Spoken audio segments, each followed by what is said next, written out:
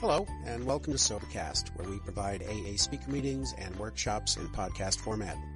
We're an ad-free podcast, and if you enjoy listening, please help us be self-supporting by visiting Sobercast.com, look for the donate link, and drop a dollar or two into our virtual basket. We hope you enjoy the podcast. Have a great day.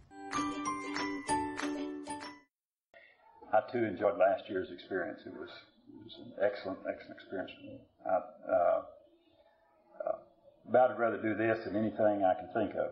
Come be with a group of my people, talking about subjects that I like, uh, just sharing, you know. Um, I've been asked to share a little bit regarding the first step, and uh, uh, I worked on the first step for 34 years, you know, and you'd think I'd know something about it. it just proves you can spend 34 years doing something and not know anything.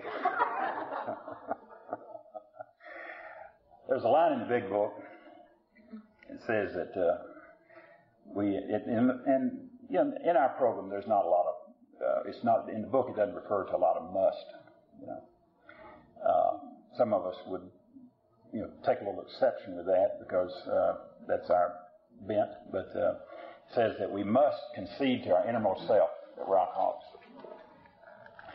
And uh, that's a that's a pretty tall order when you stop and think about it. Conceding to your innermost self. You know, uh, sometimes we intellectually understand. You know, we're emotionally attached to. We have awareness of. But really, to concede to your innermost self. Now that's uh, that's something to pay some attention to. Uh, I was uh, drinking alcoholically long before I ever even became aware of drink. Matter of fact, I never, while I was drinking alcoholically, was aware that I was drinking alcoholically. Some people call it denial. Uh, I had a term for it, and that is uh, didn't drink well. I had other friends that drank well. You know, they could have a few drinks and go home and have dinner with their family, and uh, you know, get up the next morning, go to work, and uh, do the same thing the next night. Stop off with the boys and have a couple of drinks, then go home and have dinner with their family. I used to think I could do that. I would uh, stop off and have a couple of drinks, and I'm going to go home and have dinner with my family. You know, I've got a family, I've got a home in the suburbs, I've got uh, business, things going well for me. Uh, and I close the joint up. You know, and I didn't understand that. And I go home, and of course, there's problems. You know, and over time, those problems fester. You know, uh, but uh, I didn't understand that. And I, I recall I was uh, I lived out in uh, Plano, north of Dallas, and I was standing there at my fireplace one night, and it was just about dinner time, and I was having a drink, and I was thinking to myself, you know, I've got there are people all over Dallas, and I've got a lot of friends that they they will go have a couple of drinks, and then go have dinner with her family and enjoy it. And why can't I do that? You know? And I just I'd had the question, but I you know I dismissed it right then because I didn't have an answer, and things I didn't have an answer to didn't stay around long with me. You know. uh, but I didn't understand the condition at all. And uh, I certainly at that point couldn't concede to my innermost self that I was alcoholic. Step, uh, I got to Alcoholics Anonymous after going through two divorces and several businesses and uh, several geographic moves. Uh, I grew up in an alcoholic home, and uh, early on I got the idea that uh, uh, if anything in life good was ever going to happen for me, it was going to happen because of me. And uh, early, early, early on in life, I had a strong dose of self-sufficiency. You know that uh, if it was going to be, it was up to me. You know, and I lived my life with that thing. You know that uh, if it was going to be, it was up to me. And uh, so early on in life, I started uh, proving that out to myself. Uh, I'd certainly been, it had been proven to me that uh, I wasn't going to get any results from my home life from my parents. And uh, uh, so about the age of 12, while still in school, I started working And uh, uh, from that time on, I earned my own money to buy my own clothes or whatever. And uh, if I went anywhere, it's because I earned the money to do it with. And that was the message I had for me, and I started acting on that information early on. and I had obsessions with getting out of the home that I was in and uh, getting out in life and making something out of life for me uh, long before I ever took my first drink of alcohol. And so even though I started drinking at a fairly early age, about age 16, uh, I already had enough obsessions of the mind going on where the alcohol was just one more obsession, but it wasn't even the greatest obsession at that time. Getting out of that home and making my way in life was the greatest obsession I had. And when I graduated from high school, I started uh, in sales business, and uh, a few years later, started selling insurance, and uh, found I could do that pretty well. And uh, by the time I was in my early 20s, I had an insurance agency with quite a number of agents working for me, and uh, started building a little Warren enterprise, so to speak, and uh, um, did well. You know, I had this. we call it here the white picket fence syndrome. You know that uh, I wanted the home in the suburbs, the cars, the nice wife, the 2.2 kids or whatever it was. You know, and uh, I mean that's you know I was going for that. You know, and uh, like I said, if it was to be, it was up to me. You know, and I started proving to myself and others that I could accomplish that. I can very well recall my grandfather uh, had an extreme influence on our lives. He uh, uh, he worked with my dad. My dad and he went into business in the late 30s together, and uh, from the very time I was a small kid, he was always around, and especially down to our, our place of business. And uh, uh, so he was always there and commented on things. And as he got older, well, and I was a young person, I had to drive him places from time to time. And so I, you know, I was very close with him. but I can recall when I first started selling insurance, I went by the uh, the family business, the bag company, and uh, my brother and I and uh, I had on a suit. And we were going to go out and make some calls, and here I was, just in my you know late teens, and uh, he uh, he was sitting there at the office, and he says, and working in this bag company, by the way, is extreme labor, and uh, he uh, he told me, he says, why don't you boys go get you a real job? Because that uh, going out and, and selling uh, or uh, you know, wearing business clothes and going out like that just really did not appeal to him as real work. You know, why don't you go get you a real job, you know? And uh, I've thought about that a lot of times as the years have gone by. You know, someday I'm going to do that. but not today. uh, but I had a real dose of self-sufficiency, and I went about trying to uh, to make something out of my life and, and having a good life. And I did have I did have a good life. You know, immediately I started having some success, and um, by the time I was 25, I had a pretty successful agency within this company. That it was a relatively small company, but we were selling lot of insurance, and uh, uh, I had a pretty substantial agency in East Texas, and uh, had a lot of success come my way, and uh, good things happened. Alcohol was not a big problem to me at that time. Although when I drank, I didn't drink well. You know, not every time, but I didn't drink well enough of the time that it was uh, my then wife would complain significantly. Of course, she didn't drink at all, so I figured she had no right. She didn't understand. uh, but uh, I had the two kids in the home in the suburbs and the cars and all that stuff. And uh, uh, I made some changes in my business from time to time. I, I, you know, it got to going so good in East Texas. I decided I'd bring it to the city. I did, and that was a uh, that did not work out well at all. So I went back to East Texas and got it going again good. And uh, and I, my brother wanted to get in business with me, so we decided we'd go to West Texas and open up an operation out there. We did, and I know than got out there, and it didn't work out well. But along the line there, I had started drinking more and more. I also started taking pills more and more. And uh, uh, I didn't recognize, as we would today, any of the symptoms at all, what was going on with me. Uh, so I had a lot of, over the, uh, a number of years from the late 60s to the mid 70s, I had a lot of ups and downs in business. I could get it going good, but I couldn't keep it going well and uh, it would, you know, I could get business up and going, And then, you know, either things would get real good and I'd celebrate too much, or it'd get real bad and you'd fall off the earth, you know. And it was the same way in my personal life. Uh, marriage was rocky, up and down. And uh, I think it was 1974. I got a divorce after 15 year marriage and immediately remarried again. But the second marriage didn't last very long. It lasted about two years. Uh, in 1974, I had an opportunity to go to Dallas and, and put in a, a marketing operation with a, a, group of people. Not that they, it was co-owned, my part was owned individually. But uh, uh, there were several different units, and I owned one unit of it. And uh, uh, I knew at that point that uh, I needed to straighten up big time. And I needed to really focus my attention on my business and get it going. I need to focus my attention on my, my family and, and uh, because it was coming apart. And I did.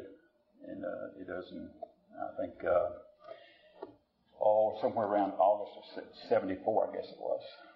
And um, uh, so I did that for about six months. I just paid attention to business and family and uh, things you know, got going well. We got the new operation up and going, and good things were happening again, and you know, couldn't complain. Little bit irritable from time to time, a little discontent from time to time, but you know, it's a lot stressful getting a new operation up and going, isn't it? You know. Uh, some of the guys that I worked with were stopping by and having a couple of drinks before dinner, you know, and going home after work, you know. Uh, you know, things are going well now. We've got it up and going. Why don't I just do that? You know? So I did that. You know? And uh, I'd stop off and have a couple of drinks, and we'd chat, you know, uh, with the guys. And, you know, nothing wrong with that. People do that all over the world. Except some of them would want to go on home, you know. and uh, hell, I'm just starting, you know. And uh, most of the time, I don't go home. Now, the first few times. Um, I call home and I'll be home shortly. We're, we're in a conversation right now, but it'll be over in just a few minutes and I'll come on home. And, uh, but I didn't, you know, uh, I intended to. When I made the phone call, I intended to go home. You know. Well, a little later on, I'm, uh, I'm making the, I'm not making the phone call because I don't want to have the argument later, you know. And, uh, then sometimes I just don't go home. That's, those are solutions, you know. Just don't go home. um, I didn't understand that at all. I didn't understand what was going on at all. Um, I thought that I had a few drinks, and I made a decision that I'm enjoying this, and I just want to stay. You know. And uh, I kind of like that life, so I'm just going to stay longer. You know. And I'm not really thinking that much about consequences at that point. You know. Uh, America, I'm not thinking now that we think about it. I'm just drinking. I'm not thinking I'm drinking. uh, but life's a shambles for this time. It, it, doesn't take very much longer than that. About another year of that going on, and life's a shambles. I've, I've gone through a divorce. I've remarried. Uh, my business is becoming a, a shambles again, and uh, things are not well. This second wife, she, you know, my my script called for me to have home in the suburbs, two kids, wife, cars, you know, that kind of stuff.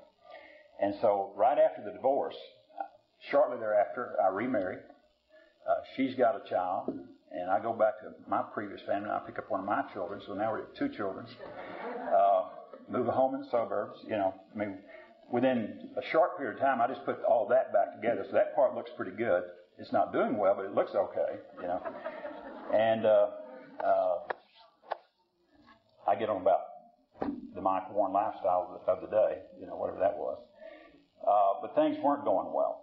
And within a, a year, we're having a lot of problems. Uh, her son and I are not getting along too well. We send him to live with his father. Uh, in a few more months, we're going to a psychiatrist for marriage counseling. Uh, business is not going well. Just, you know, everywhere I look, it's falling apart. Uh, a few more months go by, and I move into an apartment in Dallas. And uh, uh, from the time I moved into this apartment by myself in Dallas, and I send my son to live with his mother. She's uh, in California at the time. And uh, uh, from 30 days after I moved into the apartment by myself is about all I last. Uh, I start drinking every night I'd go in every, every afternoon. I, I really wanted to get the marriage back together. So I'd go in and I'd start drinking in the evening. And uh, I'm not going out. You know, I'm staying in, not going to the bars. And uh, uh, I drink myself to sleep each night. And sometimes I'd wake up at night and drink myself back to sleep. Next morning, get up early and go to work. And I did that for about a month. And in the middle of July of 1977, uh, my brother invites me to go to dinner one evening. Now, my brother and I drank a lot together, and I know when he invites me to go to dinner, that does not mean let's go to dinner. That means let's go drinking, you know, and partying. And uh, so I said, well, I have to call you later let you know. He works with me. So I go home, my typical 4 or 5 o'clock, and I'm pacing the floor in my apartment and uh, arguing with myself about whether to go drinking with him or not. And uh, uh, after a little bit of argument, I call him and I go. And I didn't understand until after I came to you people what uh, what happened. Uh, but I went drinking with him, and uh, the next morning, about four o'clock in the morning, I'm driving home with the windows rolled up in my car, screaming to myself about the condition of my life. And I didn't understand how a person with all the resolve on earth could start off the way I did and work like I had and wind up in the snake pit I wound up in. I did not understand that at all. You know. Uh, I can't tell you what happened the rest of that week because I don't know. I can tell you what happened the following Sunday. That Sunday afternoon, I uh, was in my apartment, and uh, uh, as clear a thought as I'd ever had came to me. Uh, well, it's really two thoughts. One of them is that I do not know how to live life. I'd given life my very best shot over and over and over again, and I didn't know how to live life. And the second thought that I didn't understand at all was that the conditions in my life were of my own making. And I didn't understand that one little bit. You know, when you spend all those years being a victim, how the hell are you going to understand a thought like that? You know, you just don't. Uh, I had big problems and I had no answer. Here I am at the bottom of the barrel. I look around me and my life is an absolute failure in every area of life that is of any concern to me. I'm a failure as a business person, as a husband, as a father. I'm a total failure in all those areas. And those are the areas that matter to me. So I had, and I had those problems and I had no solution. The next morning, I'm driving to work early in the morning, and another thought comes to my mind is that my mother and my mother-in-law have had lots of difficulties in their life. And somehow they managed to live past them. And so it occurred to me that maybe I'd call one of them, which is a real strange thought for me. Because if, if I, a week before that, had I called either one of them, which I wouldn't have, it would have been to see if they needed my counsel about anything because that's kind of where I came from. Well, my mother lived about 50 miles away, so I decided that, that and my mother-in-law lived there in Dallas, so I decided I'd give her a call, my mother-in-law. And uh, she agreed to see me. I didn't know whether she'd see me. Her daughter was divorcing me. And uh, about uh, 2 o'clock that afternoon, I went over to visit with her. And I went over what was going on with me and all the guilt and remorse I felt about the condition of my life. And uh, uh, she just looked at me. She says, Mike, did you ever think that maybe you're an alcoholic? And um, I, I, I hadn't. My father was an alcoholic, and I knew how he drank and what that looked like. And I drank very different than that. I didn't look like that. I had a different look, so therefore I didn't associate myself with being the alcoholic like him. And I said, I don't know.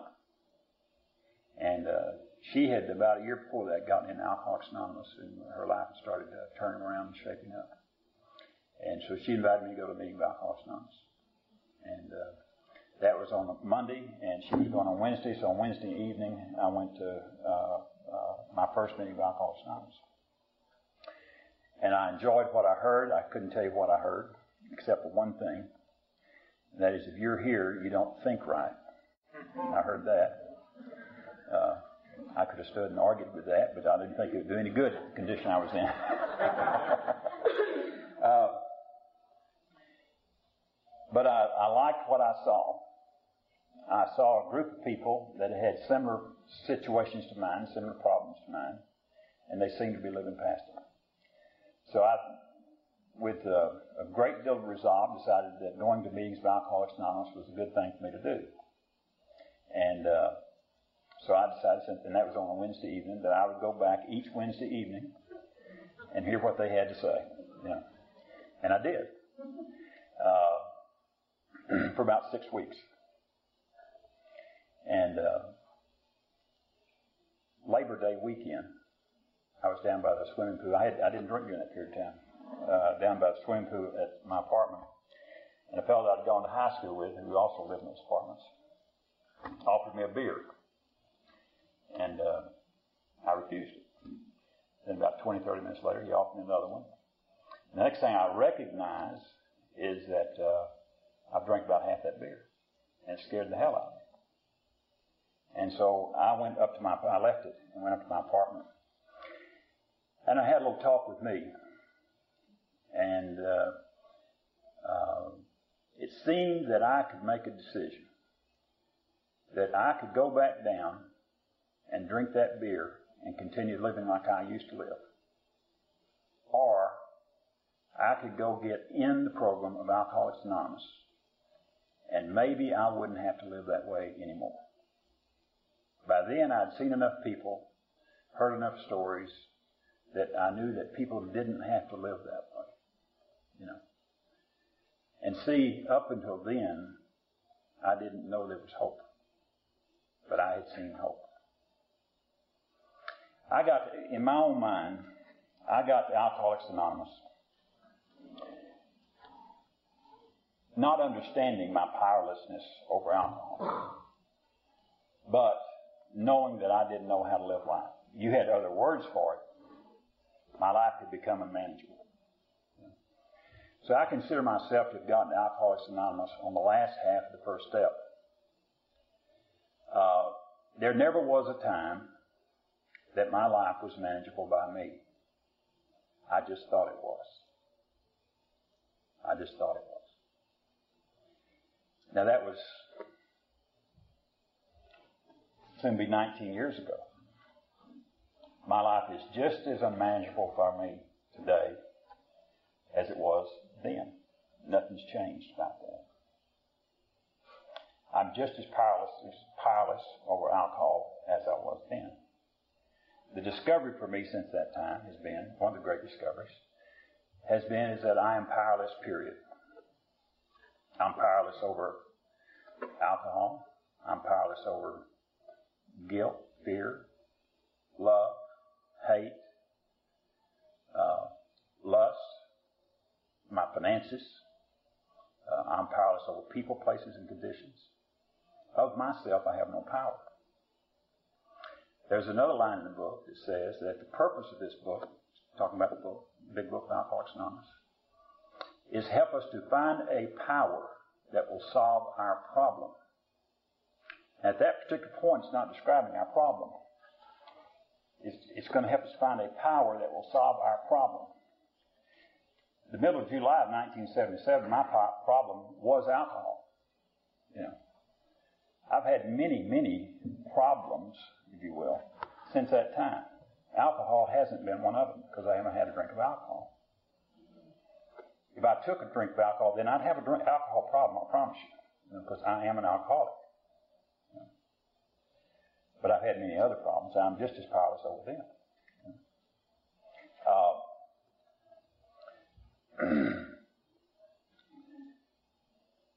I think the great solution for me to date is the certain knowledge that I'm absolutely dependent upon God for everything in life. I'm dependent on God for the next breath I breathe.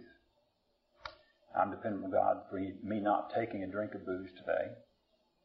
I'm dependent on God for the kind of business I've got, what business I'm in or not in, you know. I'm, uh, everything I'm dependent on God. The steps helped me to realize that. The first step helped me to go in, get going in that direction. And the other steps for me has helped me just become more and more aware of that. My activities in daily life continue to prove that out to me.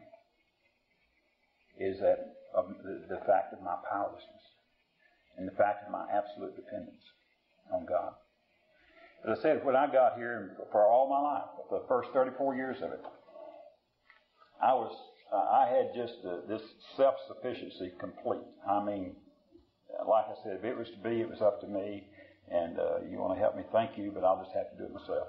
You know, I depended on others, and it didn't work out. You see, you know, so I'll just have to do it myself. And uh, that's that's a bad thing to be in. When you're in that mode, you just you're not much help for a guy like that. You know? There's just not much help for a guy like that until they concede to their innermost self that they're powerless. You know? And uh, some days, you know, some days I'm involved in this activity of living out here, just like most of us are. And some days I don't see that quite as clearly, and I have to go on through the actions until I see it clearly. Because I'm going to have to see that clearly. My powerless over whatever. You know? And I think that's the great lesson in life for me. Uh, as I said, I'm, I enjoyed last year. I'm looking forward to this year, and I'm looking forward to all the comments and the, the, the other speakers related to this weekend's uh, program. I thank you. I'm Beverly and I'm a very grateful member of Al Anon. Hi. Thank you for giving me the opportunity to be a part of this weekend. Um, last year, uh, when people came back from here, a lot of people shared with me about what a great, great spiritual and, and loving and filled with fellowship kind of a weekend this was, and I think it's a real privilege and a real opportunity for me to be here.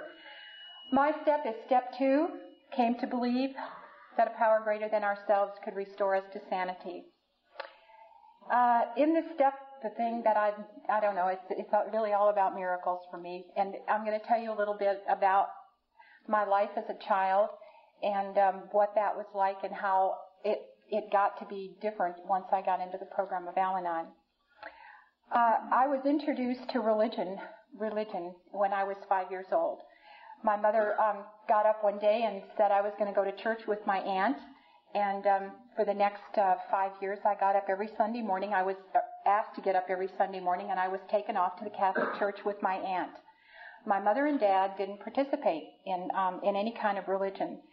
God was not spoken about in our family unless it was to reprimand us, you know, and it was a real negative thing. It was like it was manipulative. She would she would say, God's going to get you for that. Or if you do that, God's going to get you. And so I from a very early age, you know, thought that this God, you know, was a really uh, a bitter, uh, very mean person who had a score pad and kept score. And I've heard that throughout Al-Anon and Alcoholics Anonymous ever since I've been here, but I really experienced that. When I was in kindergarten, my mom um, gave, turned me over to my aunt one more time and she sent me to a Catholic school. And my interpretation of a Catholic school was a, a little strange because I was fearful. Um, I had already been told, you know, that this God was going to get me. And here were these women dressed in these long black robes, and you couldn't see their hands, and you didn't know if they had hair. And the whole experience to me was really a very fearful thing. So um, by the time I finished my, um, when I was finished with kindergarten, the next year, I must have raised some kind of a stink about that, or they could tell that I was frightened. I don't know which. But they ended up putting me in a public school, and then I went to catechism, and I made my first Holy Communion, and I did, you know, confirmation and all those things. Um, but nonetheless, it was still about learning about a religion, and I didn't know anything about a God. Uh, as, as, I was growing into my teens, most of my activities were centered around things that kids did in churches. Um, that, you know, back when I lived, there, there just wasn't a whole lot to do, so the churches had activities, you know, um, each one, the Methodist Church and the Baptist Church. And so all that I did was follow my friends around to these different um, church youth activities, and, and you know, and I enjoyed myself. It, it was a lot of fun, and um, I was there basically seeking um, the the fellowship, you know, just to have friends and and you know, it was just to be a part of something. Um, when I was uh, going to get married to my husband, by now, by and still at this time, God was not anything that was sacred to me. God was not a word that you would use in a time of trouble. It was not. It was just. It was really all about religion and knowing the rules and what to do and, and how to how to um, act when you were in church.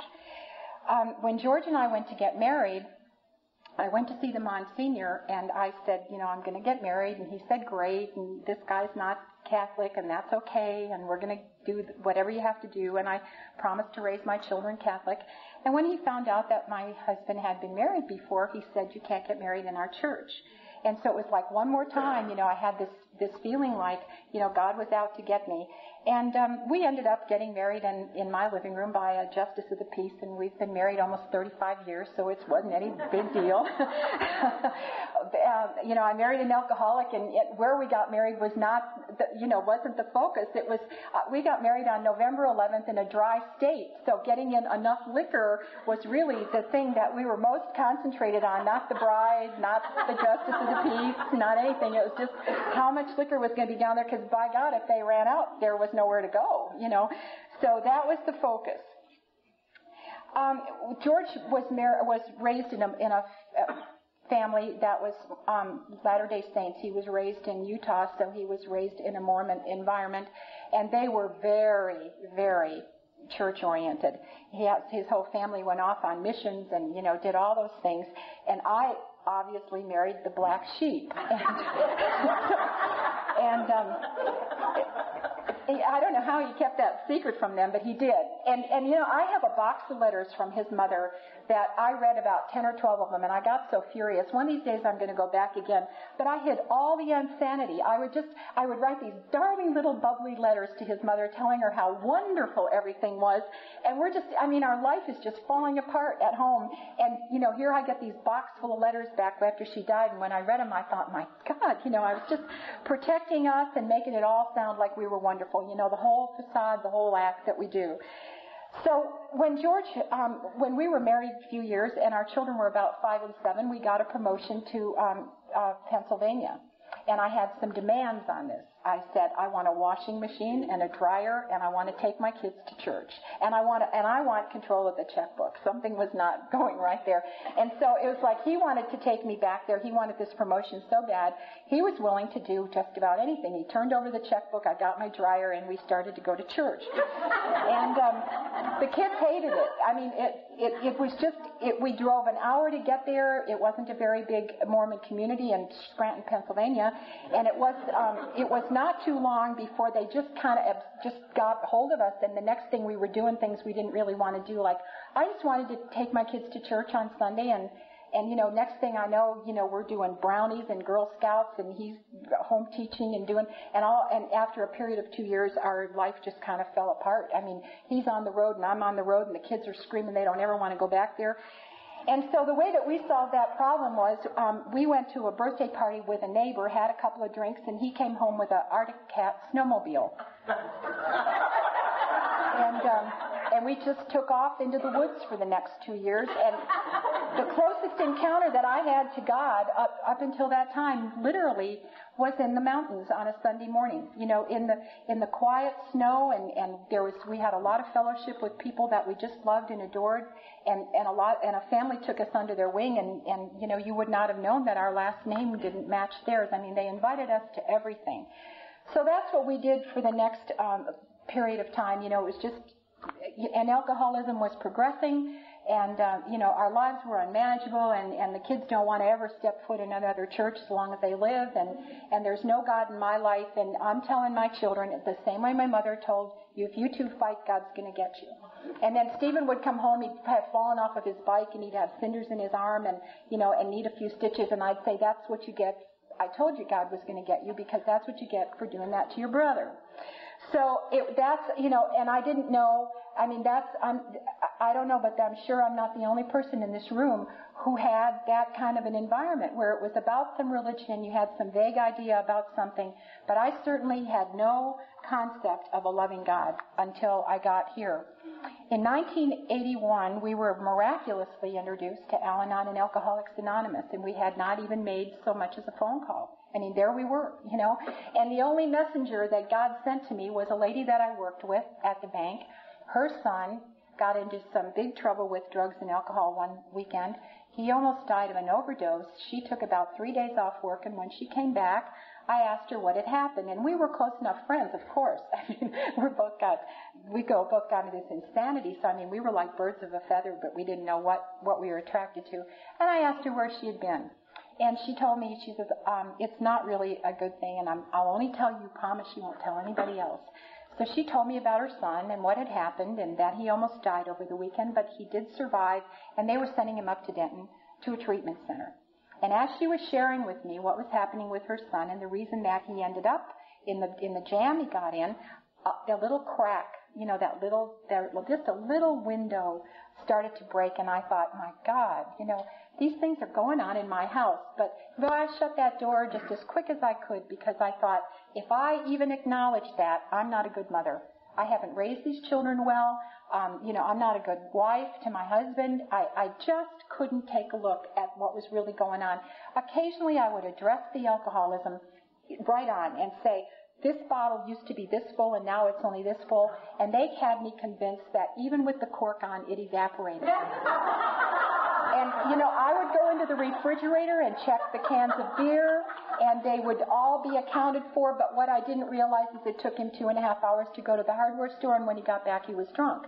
And, and, I, and then I would say to him, you seem to be drunk to me. And he would say, not at all, you know and then he would fall off ladders and do a lot of other insane things. And you know, and so when this lady is telling me these things, I knew in my heart that I was relating to her. But I didn't want to, to relate to her because I didn't want to be a failure. It was so important to me because perfectionism was one of the really big deals of my life. And I mean, it all had to look just perfect. And um, you know, it was it was falling apart, but I couldn't I couldn't acknowledge it.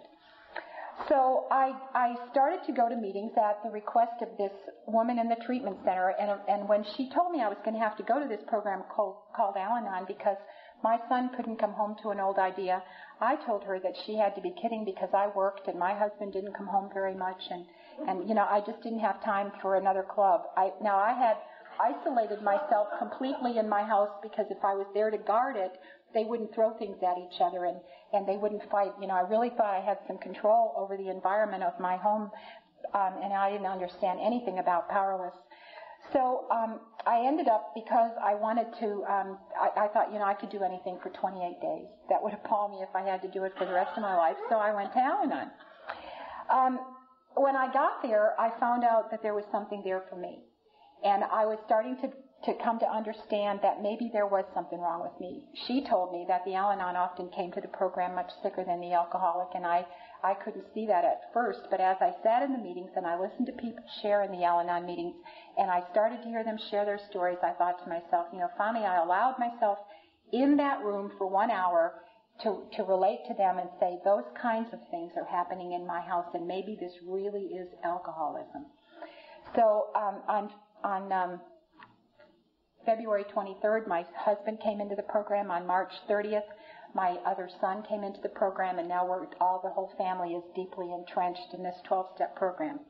And as I'm starting to do this, I'm thinking to myself, these people are all talking about this power greater than themselves, and all that I know about God is terrifying.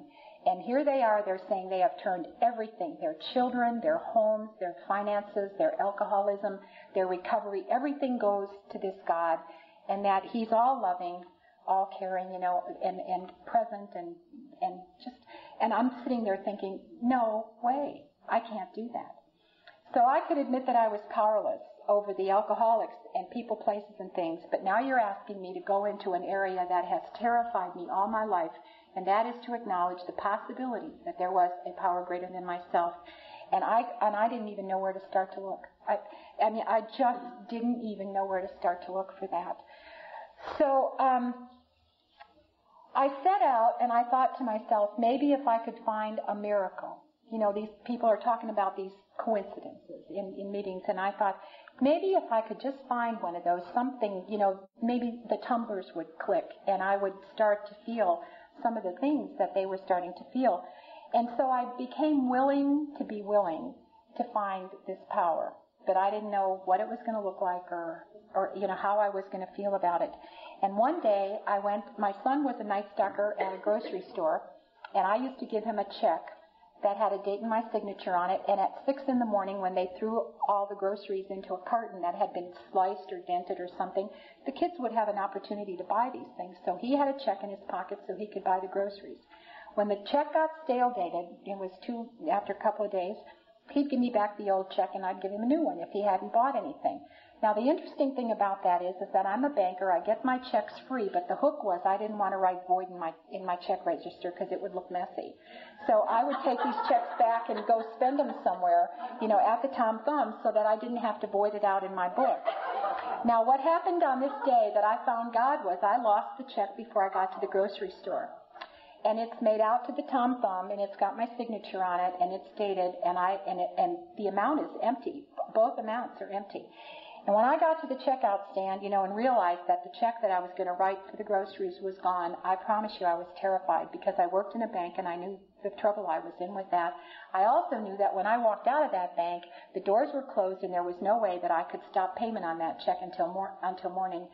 And I got home and, you know, I was just trying to figure out something I could do, somebody that I could call, something I could do. And there was nothing I could do. I was totally powerless over that check. When I got home, I, I, I thought, okay, well, you can't stew about this until morning. You know, you're, you're powerless over the check. I got step one down, okay. So I thought to myself, okay, what's the thing that they tell you the next in Al-Anon to do? And that is to do the next right thing. So I opened up the vegetable crisper and I started to peel potatoes. And believe it or not, that was a surrender. And I didn't know it at the time, but letting go of the check long enough to open up the drawer and pull the potatoes out was a surrender. And God God heard me, apparently, because at that very moment the telephone rang. And the ladies, there were two ladies in my bank that sat all day long and they filed checks. That's all they did was look at the signature, look at the card, drop the check in the drawer, and they did that for eight hours every single day. And one of the ladies that was one of the check filers called me on the phone and she says, Beverly, this is Gracie. You have got to be the dumbest employee First City Bank has ever hired. She said, I can't believe you have a check made out to a grocery store and you've signed it and you lost it. And I says, well, Gracie, how did you know I lost the check? Well, she said, I'm in Walmart, which is where I went before I went to Tom Thumb. And she says, I'm standing in the checkout counter. And this was before they stamped the little payee thing on the back of it. So it's just a blank piece of paper. It's laying on the tile floor at the checkout counter. Gracie looks at it, and because she does nothing but file checks all day, she says to herself, that looks like a check. And she picked it up off the floor, and, and it was my check, you know? So she goes home and calls me up. Now, I had to be humiliated by her telling me that I was without a doubt the dumbest employee that they'd ever hired at the bank. But the fact of the matter is, is that was beyond any coincidence that I had ever encountered. And when she hung up the phone, I sat in my kitchen and I just wept. I, I mean, I could, I just wept. And, and, and I thought to myself, that's what they're talking about.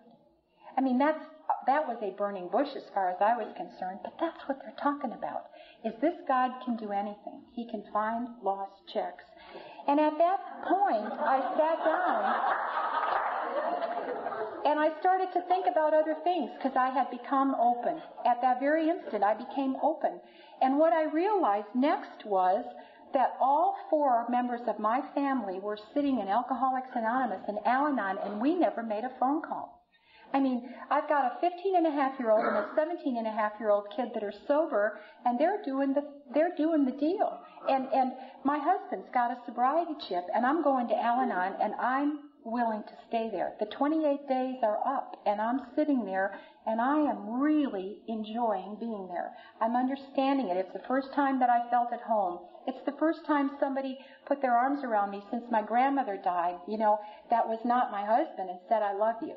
We, you made us feel precious and, and so welcome. And, and you know, I wasn't here because I was, wanted to get spiritual or I wanted to get well. I was here because I was hungry for the fellowship for a long time. And, um, so that's how the process began for me. It was just, it was the most, it was like the whole, like an earthquake in California where everything just kind of shifted for me. As time went on, um, and I came to believe in these miracles and that this God was real, I still didn't know whether, you know, it was, he was working for me. Now here I had these things, you know, but until I was, I, it, it's, it, it just is a process. It takes a long time to begin to trust that power and know that it really has you in mind. So um, I had to do a little exercise in in having some faith, and um, what happened was um, Scott started to drink again shortly after he was sober. He didn't experience a very long period of sobriety. And so one of the things that you told me to do was to make my hands like this and place Scott in my in my hands and visualize those hands real big and and, you know, weathered and loving and kind, you know, and, and to place God in those hands and know that God would take care of him. Because as it turned out, we ended up having to put him out for a while and then he came home and we went, he went into treatment and, and, um, you know, so there was many, many, many times when I had to let go of Scott and put him in God's hands. Um, there was came a period of time where George's um, his work situation changed and our finances changed. You know, one more time, you know, I had to think God can take care of this. You know, his, he's in charge. And you kept telling me, you know, Beverly, you just get up and you and you walk forward this day, and it's going to be all right. And it has been all right. You know, he's been. It, it's ten years later, and you know, we've never missed a meal, and everything's been wonderful. But I spent a year really fretting about that, being, you know, having the willingness to turn you know, to, to believe in this power greater than myself enough to be w- willing to turn that over to, to God. Um, after my um, granddaughter Sarah was born and I went down to Florida to see her for the very first time, my son was in very, very active alcoholism and drug addiction. And my daughter-in-law, you know, was reacting to him violently and, and their life was truly unmanageable. And Scott decided to work two jobs so that Doreen could stay home with the baby for a couple of months and I stayed there for about five days or six days, I don't know. But when I got ready to leave, I had to do this again. I had to place that child in God's loving, eh, loving protection and know that no matter what, she was going to be all right. That there was many of us that were raised in alcoholic homes and that, you know, we all are survivors and we become strong. And, you know, and that my, my little grandchild, even though she was just a couple of days old, she was going to be okay because God um, was going to take care of her. And I was able, with some degree of peace and serenity, get on that airplane and leave that baby in Florida and come home. I came to a point where I understood what grace was and how I walked in grace and how God loved me personally. And I you know, I walk around today and I say things like I'm God's favorite child and if that's just the way it is and I know it because I have been blessed many times over. I mean, over and over and over and over. Uh, you know, and I know that I'm special, and, and it's wonderful to feel special. I had to learn what it meant to be still and know that I am God. There's all these little things that come around here, but you know, what it took for me was an experience with each instance that made it my own.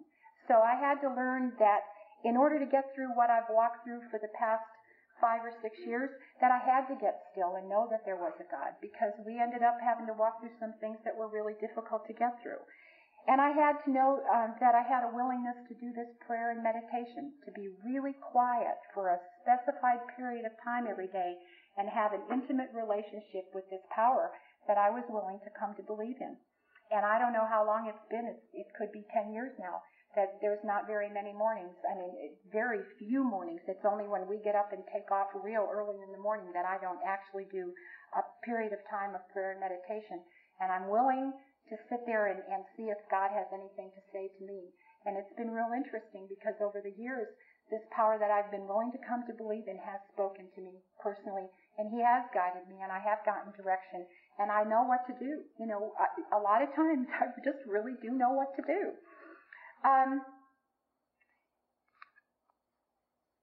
it was I, I said to to know that God really cared about me and about my children. The insanity that I suffered before I got here um, was had to do with anger. It had to do with loneliness. It had to do with feeling like, you know, I got married to this man and I didn't know he had alcoholism until we actually got here. And so I didn't know what I was dealing with. My father was an alcoholic. My father's father was an alcoholic. My mother's father was an alcoholic. So it's not that we were the first generation to end up with alcoholism. It was something that was passed on to us for a long time. But I didn't know what it was and it made me angry and resentful. And when you're angry and resentful and you're burdened with something that you don't know what it is, you are, you are insane. The people who took the brunt of my insanity before I got into the program of Al-Anon was my children because they were the two people that were home with me alone and they got they got it all. And um, you know, as a, as a result of that, I embarrassed them in front of their friends, you know, and, and caused a lot of embarrassment for them and for myself. Um, the insanity of my actions was, in, was the inability to make choices the inability to have compassion, the inability to feel loved, the inability to love others. And um, all this caused a lot of confusion for me. But in the program, you know, you've taught me how to love people, how to love myself, to have compassion not only for myself but for my fellow man. And as I've walked through, you know, I think even having learning how to have compassion takes a, jolt in your life where you where you see something that's just so unbelievably difficult to walk through that no matter what happens now, I have so much compassion for my fellow man. You know, no, no matter what, my heart is so open now, and that's painful too. You know, it, it, sometimes I think to myself, it was a whole lot easier when I couldn't feel anything, and and now I, one of my one of my dear friends moved yesterday. You know, and and I just I've had a real hard time with that. But people have come and gone out of my life and all of a sudden now, you know, this, I'm feeling this pain inside of me and I thought I know it'll heal and she's going to a neat place and she, I will always carry this lady close to my heart. But, you know, the, the, just the, the feeling inside of me that I feel weakened by this is, is an amazing thing to me. It's, um, it, I have never been able to feel like that. Um, there were a lot of tools that helped me to find this God. You know, there were there were Al-Anon literature and tapes and sponsorship and going to meetings and doing the prayer and the meditation. And I learned from you that you told me God spoke through people. And I go to a meeting today and I rely on that. I always get an answer. No matter what's going on with me, I'll go to a meeting and find out that God speaks through somebody and, you know, the answer will come. One of the best, one of the, one of the most awesome things that happened, um, last September, my daughter-in-law gave me permission to, to speak about my son's illness openly. And up until that time, we had to, um, we, we just didn't talk about it. We, um, they said don't. You know, it was hard. We had this little child and, and you know, that there's a lot of criticism and, and about the illness that he died of and, and so it, they said keep it a secret. So I picked six or eight people and, and had a little circle of friends who knew that my son had AIDS and any time, any time that I needed to talk about it, I called one of these people and um, and I shared with them. But as far as being in a meeting or anything, it was my son. You know, had some serious health problems. So you know, and that's how I got through that. And it was hard not to be able for everybody in the room because you all would have given me a lot of strength and a lot of courage. But we were going by the guidelines of society and they said don't talk about it. So we didn't talk about it. But my daughter-in-law heard a man speak in September and as a result of that, when we got up to our room that night, she said to me, Nanny, I want you to be able to talk about God because she says you were very courageous and I was very courageous. People need to know because this is not something that's going to go away tomorrow. So when I was faced with the first time that I was going to talk about my son's AIDS, I really got scared and I had this idea that I'm not going to go, I'm not going to do it, I can't do it, there's no way. I, I just didn't know where I was going to get the courage and the strength to do that. And I go to my little Thursday meeting and, and I'm sitting there and everybody in that room that day affirmed something that I needed to hear to make me strong enough to get on the airplane the next day and be willing to go out there and talk about my son's illness in front of 600 people. And you know, I thought about that and I thought to myself, God is so loving because here I was ready to throw the towel in on that and He provides me an entire home meeting with all of these people who shared something regarding having courage, having, coming out of, one girl said she's been going secretly through a divorce and that, you know, she's out of the closet. You know, this word, I mean, how many times do you hear that word? Um, Nancy shared about Shep's death and, and she said something that really touched me, and then Jenny shared something, and, and it just went around the table that day, and I walked out of there feeling strong and knowing that I had a purpose and that God wanted me to do that. So, um, you know, there's I, there's so many things. When I found out that Scott had AIDS, I also found out a couple of weeks before that that my father was dying of cancer. And I had a sponsor who said, you better write a miracle down in your journal every day. You better know that this God is present and available for you every single minute. And I started that day writing a miracle down at the top of my journal. And I still do that today. Because see, my answer to her that day was, that's a big order. God does not give you a miracle a day. But I'm here to tell you that every moment that we're alive and we're breathing, we are given miracles. You know, I, they're not burning bushes, but, you know, they're just they're little things. They're just little things, and they're there. And the more that I practice the presence of this God in my life, the, the more ability I have to see on a day-to-day basis, on a moment-to-moment basis, just how gracious this God is that I have come to believe in. And you know, it's just, it, I'm in awe of it most of time. It's it's it's just the most incredible thing to have to to just know that that everything's in order. You know, everything is in divine order. Um, when I first started to believe in this God, they also said my foundation had to be strong, and um, and that I needed to go back to a time when I didn't believe in God and find evidence of God in my life. And so I went back there and I tried to find these things. And the one thing that I thought about was when my children were just little, three and five, we bought our first little house and it was in December and I'm crossing an interstate highway in, in Ogden, Utah. We had a pickup truck with a choke on it and just as I, I stopped at a stop sign that was on a slope, and just as I started to crest and go over the interstate, and at that time we literally crossed over the interstate, my truck died. And George was in a car in front of me, and I, you know, for this moment I panicked about what I was going to do, and I could see the headlights of a semi coming, and I'm sitting in a pickup truck broadside on an interstate, you know, and I had clarity. I had, I, I turned off the lights. I can remember step by step what I did. And all of a sudden that old truck started and I got it across the interstate and I remembered that once I got it across the interstate, I parked on the shoulder and I couldn't drive for a very long period of time because my knees were jumping and my hands were jumping. And I thought to myself, that was God. You know, who but a power greater than myself could have moved that truck that night? And I thought about a house that we sold and how easy it was to sell it so we could move to a new location at a time when George was getting a prom- promotion. And I thought about the time I put a baby bottle in a boiling pot of water and set off to take my child to be baptized and left the bottle boiling in the water. And you know, all of a sudden in the middle of the ceremony, remembered, I, I visualized this boiling water and I thought, I said to George, we could have a real problem at home. and we did have a real problem at home. But you know, if that thought hadn't come to my mind, that house could have burned. I mean, we don't know what would have happened. But he left the baptism and went home. You know, everything was black. it was black, but it didn't burn. You know, because this thought came to me that the that I had forgotten this in the middle of all that. Um, there was a time when I was pregnant with Stephen. I it was I was very pregnant. I was like nine. I was ready to deliver, and I'd gone into labor actually, and I couldn't get my my husband to come home from work. He kept. I guess he didn't think how serious this really was, and and I was standing there worried about how all this was going to come out of that little place, and and I was really panicked, and I wanted some help in the kitchen, you know, and I kept calling him, and, and his people in his office kept saying, you really need to go home, George. If she's in labor, you really need to go home. And just at that moment when I'm thinking, you know, what if something happens and I really need to be at the hospital and this guy won't come home from work?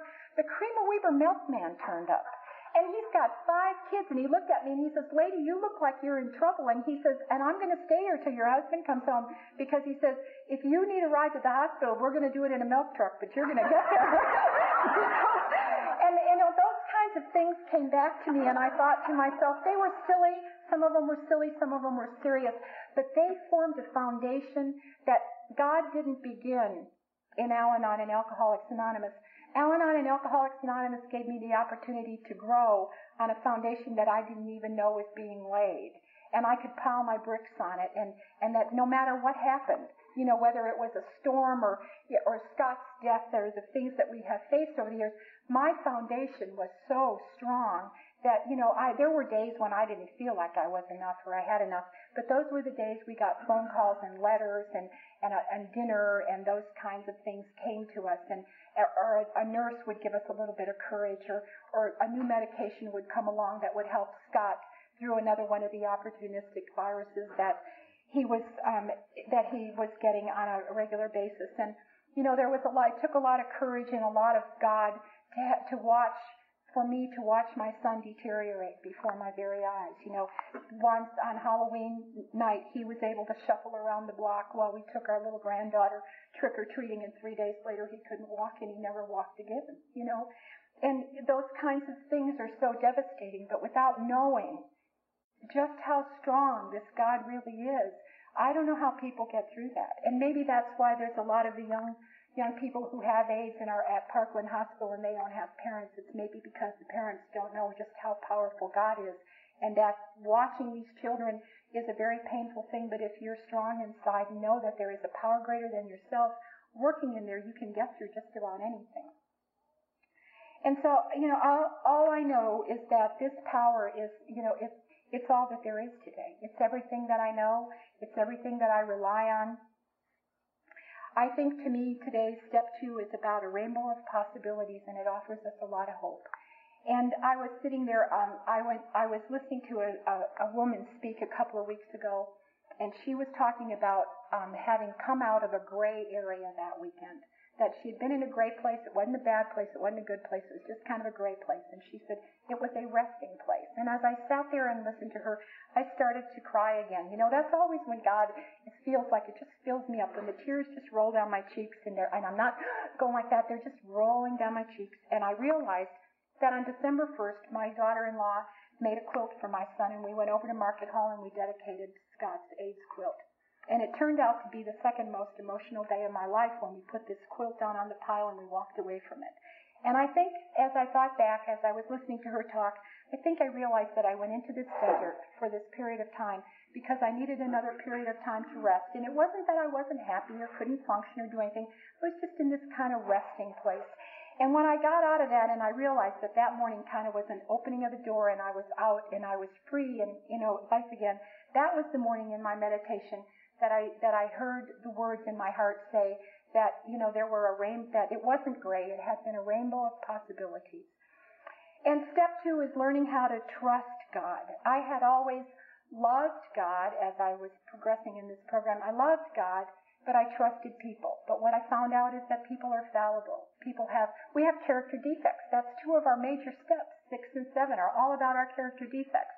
And so I'm trying to put all my all my trust into human beings, and I'm getting disappointed time after time after time.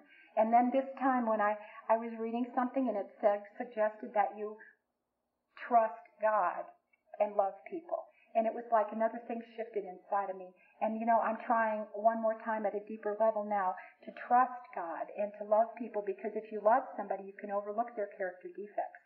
But God has no character defects to overlook, and with Him all things are possible. And so anyhow, step two is about letting go of my control in all areas and handing it all over to God. You know, and I am a very controlling woman. I'm learning and I'm doing a lot better in a lot of areas. But you know, there are still some things I want to hang on to and I want to do, I want to do it my way. And you know, there's always a period of time where I either have to surrender, surrender or be humbled into some, into some in, into a surrender. It's usually embarrassing when that happens. You know, usually I end up having to have a large dish of crow or something. And so, um, the, the program, as far as I'm concerned, I was excited about being given the opportunity to share about step two because God has become incredibly large in my life. And it, and it took a lot of fearful events, you know, my deaths and losing family members and a lot of struggles but what has happened is I became strong in the broken places, and because of that, you know, I have a stronger reliance on God today than I could have ever dreamed possible. To go from a place where all that I knew was religion to a place where all that I know is that this power is so loving and so kind that He can do anything. And He has restored me to sanity. And I'm very grateful for that. And um, thank you very much for your attention. And I'm really honored to have been given an opportunity to share this with you.